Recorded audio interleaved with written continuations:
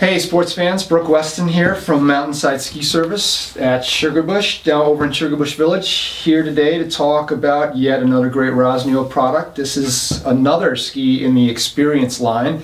Again, this was available last year and it's rocking again for this year. This is the 83. Again, that number refers to the width underfoot.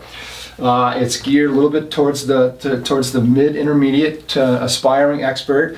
Um, good all mountain ski uh, more geared to probably you know 80% on trail, 20% off trail.